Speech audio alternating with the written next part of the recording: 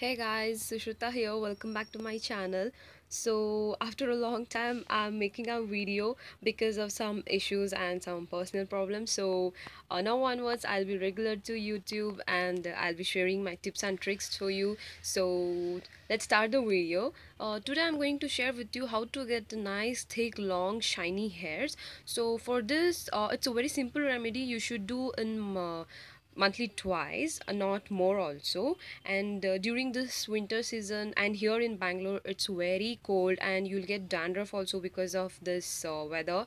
So you can get rid of the dandruff and almost all the problems of hairs. So for this uh, we are going to take one egg and some ginger and badam oil. It's a pure badam oil. I'm using patanjali over here. You can use anything. And some aloe vera gel and some lemon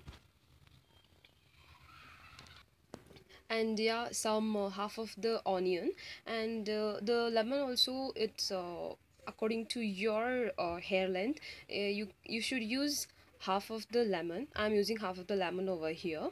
So let's start the video. And uh, for the for the first step you should take ginger and onion. You should cut this or chop this and in a grinder make the juice out of it so here is the juice uh, which I uh, have taken out from this onion and ginger.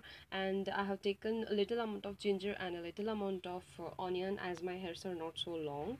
Now I'm going to add this egg to this. Uh, now I have added egg. Now I'm going to add uh, one or two uh, tablespoons or teaspoons of uh, badam oil. How much ever you want you can add but I'm adding a little bit but these two ingredients ginger and onion are uh, compulsory to this because ginger and onion are so good to hairs. They get rid of your split ends and they get rid of so many problems that it makes your hair longer and stronger and thicker. And uh, uh, the onion uh, sometimes uh, if you have gray hairs it can turn your gray hairs into dark black hairs. Now i'm going to add this aloe vera gel. This is also one tablespoon so as you can see i have added uh, one tablespoon of this uh, aloe vera gel. This aloe vera gel also makes your hair smooth soft and it keeps your scalp hydrated. And now i'm going to add a lemon to this. I have added half a lemon. Beat this mixture very well so that all the ingredients in this have to mix properly I'm mixing this mixture very well.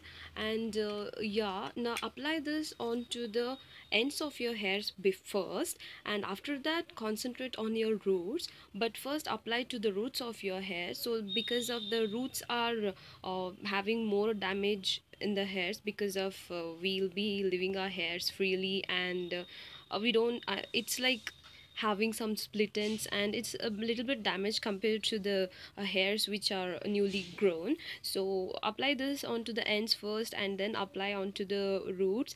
Uh, this makes your uh, uh hairs little hard. So apply this onto your hairs uh, for about some 20 to 30 minutes and wash it off uh, in cold water not with uh, with using shampoo or anything. So i suggest you to do this on saturdays or whenever you have off for your office or for your college or when if you're a school going girl.